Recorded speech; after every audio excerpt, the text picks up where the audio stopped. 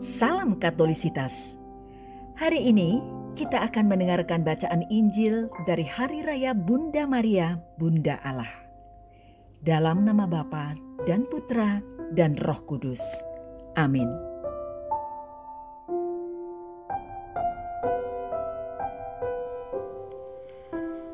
Inilah Injil suci menurut Lukas. Setelah mendengar berita kelahiran penyelamat dunia, para gembala cepat-cepat berangkat ke Bethlehem dan mendapati Maria dan Yusuf serta bayi yang terbaring di dalam palungan.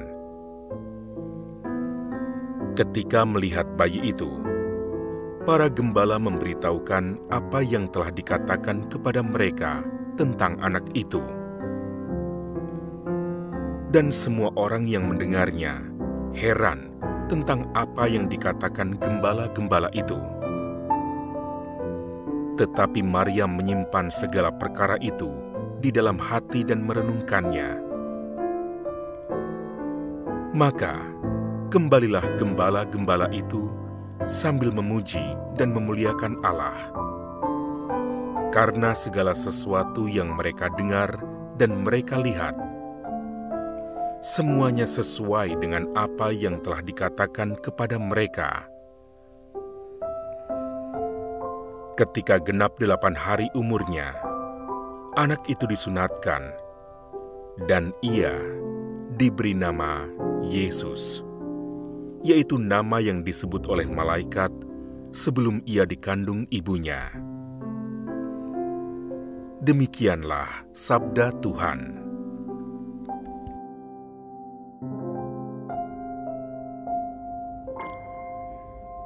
Saudara dan saudari dalam Kristus, selamat tahun baru.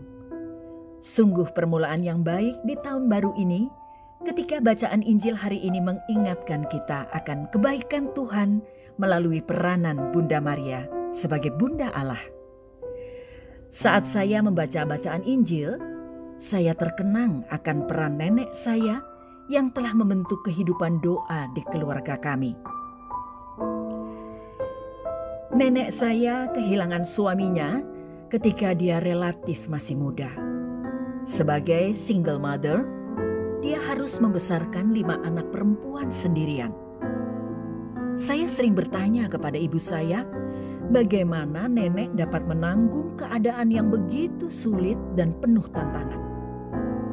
Ibu saya tersenyum dan dia menceritakan apa yang menjadi pegangan hidup nenek saya. Pertama, kita masing-masing memiliki salib kehidupan dan kita hanya bisa memikulnya bersama Tuhan Yesus.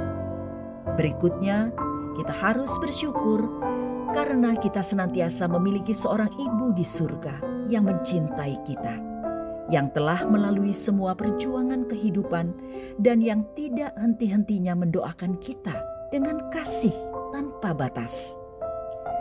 Kata ibu saya, hidup mereka yang sepertinya penuh dengan tantangan itu justru malah menjadi kesaksian nyata akan kasih Tuhan Yesus melalui Bunda Maria.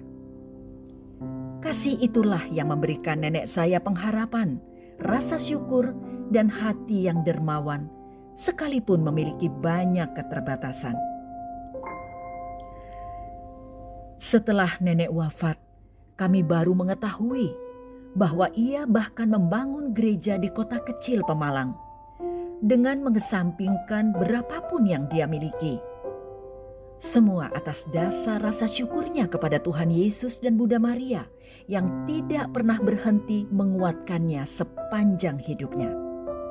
Namanya Anna Maria, yang artinya adalah pemberian berharga dari Maria, pun menggambarkan kedekatannya dengan Bunda Maria. Injil hari ini mengajak kita merenungkan keadaan Bunda Maria setelah kelahiran Yesus yang mungkin kelelahan setelah perjalanan panjang. Bunda Maria dan Santo Yosef harus melakukan perjalanan yang cukup sulit di musim dingin menempuh jarak sekitar 110 km tanpa menemukan tempat tinggal. Pintu penginapan yang tertutup mungkin merupakan gambaran awal bagi Bunda Maria. Bahwa putra terkasihnya kelak akan menemukan penolakan di hati orang-orang yang hendak diselamatkannya. Sayangnya, mungkin kita pun masih sering menutup pintu hati kita akan kedatangan keluarga kudus. Entah karena godaan, aneka kesibukan, ketidaksiapan, atau karena hati kita yang masih keras. Sebagai sang bunda Allah, Maria bisa saja menuntut perlakuan khusus. Tetapi Bunda Maria menyimpan dan merenungkan segala sesuatu di dalam hatinya. Banyak orang yang sering salah mengartikannya sebagai suatu kelemahan. Padahal kerendahan hati dan ketaatannya justru menunjukkan kekuatan Bunda Maria yang sebenarnya. Melalui fiat ya, Bunda Maria tidak saja menyanggupi untuk menjadi Bunda Allah, tetapi kemudian ia pun menjadi ratu para martir, di mana Bunda Maria menyatakan kesetiaan dan kesatuannya secara sempurna dengan putranya. Saat Bunda Maria berdiri di kaki salibnya, Bunda Maria sanggup melaksanakan segala kehendak Tuhan karena ia membuka hatinya akan kehendak Tuhan. Dan karena Bunda Maria memilih untuk percaya akan kasih Tuhan dan perencanaannya. Merenung kembali, ibu saya sering bercerita betapa doa Rosario telah memberinya keberanian, kebijaksanaan, tetapi terutama kasih dalam menjalani perjalanan hidupnya. Dia senantiasa mengingatkan saya, selama kita melakukan kehendak Tuhan, sekalipun itu penuh tantangan dan jatuh bangun, kita bisa selalu bersandar pada kebaikan dan pemeliharaan Tuhan. Hidup adalah sebuah perjalanan, dan kita masing-masing memiliki salib untuk dipikul. Tetapi selama kita memiliki keinginan untuk menyenangkan Tuhan, kita dapat yakin seperti Bunda Maria bahwa kita akan dapat beroleh kekuatan untuk menjalani kehidupan kita sampai akhir. Kehidupan Bunda Maria bukanlah kehidupan yang pasif, tetapi aktif. Ia terus bekerja sama dengan rahmat Allah untuk melakukan tugasnya sebagai ibu Yesus. Ia juga merenungkan berbagai peristiwa yang dialaminya sampai di kaki salib putranya. Maka meskipun tidak selalu langsung dapat memahami hal-hal dramatis yang terjadi dalam hidupnya. Bunda Maria senantiasa terbuka terhadap rahmat Tuhan yang membantunya untuk menyimpan segala sesuatu di dalam hatinya dan merenungkannya hingga menemukan maknanya. Sejak pertama kali malaikat Gabriel menyapanya dengan shalom, kehidupan Bunda Maria terus bertumbuh dalam kerjasama yang tumbuh aktif di dalam rahmat Tuhan. Injil juga menyatakan bahwa para gembala datang dengan tergesa-gesa dan antusias untuk menjumpai keluarga kudus. Hal ini mengingatkan kita akan awal perjalanan iman kita. Kita pun dapat mudah merasa antusias dan penuh harap akan apa yang Tuhan akan lakukan di dalam hidup kita. Tahun baru sering kali kita mulai dengan berbagai resolusi dan semangat. Namun sering kali kita goyah ketika kesulitan datang dan keadaan tidak berjalan sesuai rencana. Di sinilah saya sekali lagi teringat bahwa Bunda Maria tidak saja menyimpan segala sesuatu, tetapi juga yang terpenting, ia menyimpan dan mendekap Yesus di dalam hatinya. Tantangan hidup bisa membuat kita menjadi putus asa dan bimbang. Tetapi dari Bunda Maria kita belajar bahwa bersama Yesus kita akan dimampukan memikul salib kehidupan dengan kepastian dalam iman, pengharapan, dan kasih. Iman yang diajarkan oleh Bunda Maria ini adalah iman yang dewasa, yang mampu menerima keadaan hidup apa pun Iman seperti ini memungkinkan kita membuat pilihan yang baik dan bijak, seperti yang dikehendaki Tuhan. Iman yang tidak terpusat kepada melihat ke dalam diri sendiri saja, tetapi yang juga berusaha untuk terus-menerus memberikan dorongan dan berkah bagi orang lain, termasuk juga dalam keheningan doa. Seperti yang dikatakan Paus Fransiskus, Bunda Maria menerima kehidupan apa adanya, tanpa berusaha menyamarkan ataupun memperindahnya. Ia menyimpan hal-hal itu di dalam hatinya, di dalam doanya, di mana ia menyatukan semua suka dan duka hidupnya sebagai Bunda Allah. Karena dia selalu yakin, di mana pun ia berada, Yesus akan selalu berada di sampingnya. Akhirnya, sikap Bunda Maria mengingatkan kita akan keberanian dan keterbukaannya dalam menerima Yesus. Paus Benediktus pernah berkata, "Apakah kita menyadarinya atau tidak, bahwa mungkinkah kita semua pada awalnya takut?"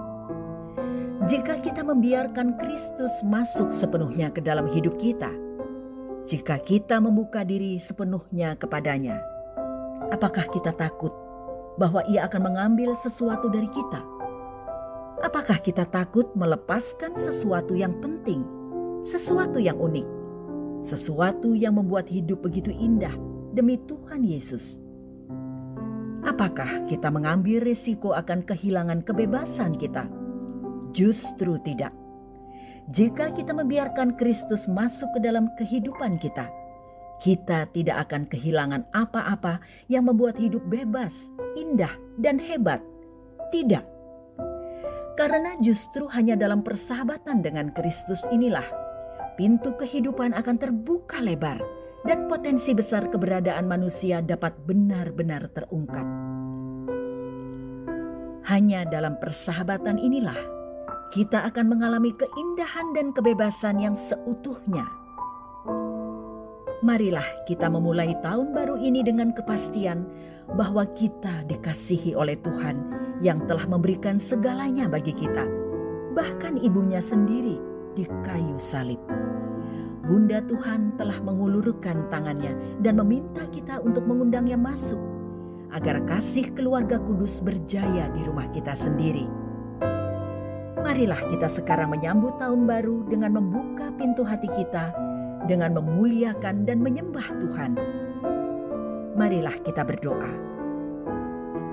Ya Tuhan Yesusku, kami mohon mampukanlah kami untuk memandang, mengasihi, dan membuka pintu hati kami akan kehadiran keluarga kudusmu di dalam keluarga kami.